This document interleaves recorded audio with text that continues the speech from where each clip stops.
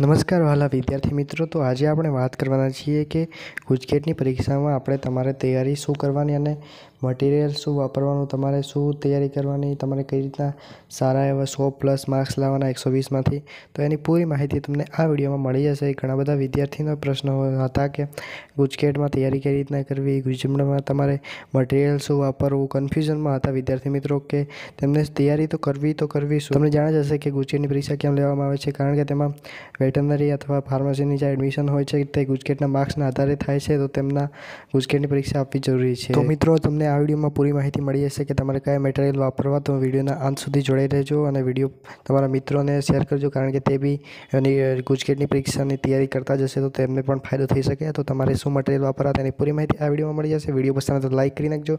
Channel પર નવા તો સબસ્ક્રાઈબ કરી નાખજો, કેમ કે અહીંયા એજ્યુકેશનને લગતા નવા નવા અપડેટ તમને મળતી રહેશે.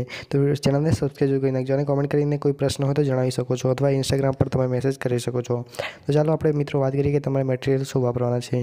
તો વિદ્યાર્થી મિત્રો તમારે મટીરિયલ શું વાપરવાના છે કે મટીરિયલ તો તમારે ગુજરાતી તમારે જે એનસીઆરટીની બુક્સ છે, જે તમારી ત્રણ બુક્સ છે બાયોલોજી કેમેસ્ટ્રી અને જે ફિઝિક્સની તો તેમાં તમારે ત્રણે બુકને જે બુક છે તે જ તૈયારી કરવાની છે. એના સિવાય કોઈ મટીરિયલ વાપરવાનું છે કારણ કે મેં બી આ ગુજકેટની પરીક્ષા આપેલી. તો વિદ્યાર્થી મિત્રો, તમારે તો એનસીઆરટીની બુક છે તે ક્લિયર કરવાની છે પહેલાં. ત્યારે ત્યારબાદ તમારે જે એમસીક્યુ હોય છે તેનું સોલ્યુશન કરવા માટે તમારે નવનીત નવો સહારો લેવાનો છે વિદ્યાર્થી મિત્રો.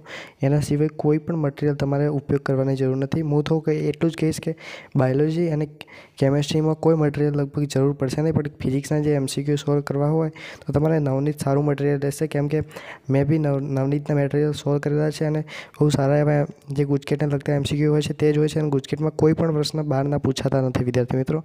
કોઈ પણ જે ચોપડીના બધા બેઠે બેઠા બુકના પ્રશ્નો હોય છે, જે તમને આસાનીથી આવડી શકે એવા હોય છે, તો તમારે ખાલી ઓનલી ફોર બુક કરશો, તમે તો તમારા સો પ્લસ માર્ક્સ આરામથી આવી જશે. વિદ્યાર્થી મિત્રો, એકસો વીસમાંથી એકસો વીસ પણ આવી શકે છે. કેમ કે મારા મિત્રને પણ એકસો વીસમાંથી એકસો વીસ આવેલા છે. તો તમે વિદ્યાર્થી મિત્રો જોઈ શકો છો કે કોઈ પણ બહારનું મટીરિયલ તમે વાપરશો, તો તમારા માર્ક્સ લોસ થવાનું શક્યતા છે વિદ્યાર્થી મિત્રો. કેમ કે ઘણા બધા વિદ્યાર્થી મિત્રો જે બહારનું વાંચે છે અને બહારમાં જે બહારના જે મટીરિયલ્સમાં જે એમ, જે એમસીક્યુ હોય છે, જે જે લગતા જ નથી હોતા, કોઈ ગુજકેટને લગતા કોઈ હોતા જ નથી અને જે ચોપડીમાં, બુકમાં પણ આપેલા હોતા નથી, તો તે પ્રશ્ન બહુ કન્ફ્યુઝનમાં કરે છે વિદ્યાર્થી મિત્રો. તે પ્રશ્નો કોઈ લેવા દેવા વગરના હોય છે મિત્રો. તો તેની ટેન્શનમાં ખોટા વિદ્યાર્થી મિત્રો બીજા પ્રશ્ન જે વાંચવાનો છે એ પણ ભૂલી જાય છે અને ખોટો ટાઈમ વેસ્ટ કરવો નહીં. વિદ્યાર્થી મિત્રો, તો તમારે તૈયારી કરવી જ હોય, ગુજકેટમાં સારા માર્ક્સ લાવવા જ હોય, તો તમે ઓનલી ફોર બુક્સ કરજો અને તમારે એમસીક્યુ સોલ્વ કરવા માટે નવનીતનો સહાર લેજો. આના સિવાય કોઈ વિદ્યાર્થી મિત્રો, તમને કોઈ કન્ફ્યુઝન હોય, પ્રશ્ન હોય, તો તમે ઇન્સ્ટાગ્રામ પર અથવા કોમેન્ટ કરીને પ્રશ્ન પૂછી શકો છો. ઇન્સ્ટાગ્રામમાં તમે પ્રશ્ન કરશો તો સારું રહેશે, કેમ કે તમારે, ત્યાં તમને પૂરી માહિતી હું આપી દઈશ પર્સનલમાં તો વીડિયો પસંદ આવ્યો હોય તો લાઇક કરજો અને ચેનલને સબસ્ક્રાઈબ કરી નાખજો વિદ્યાર્થી મિત્રો.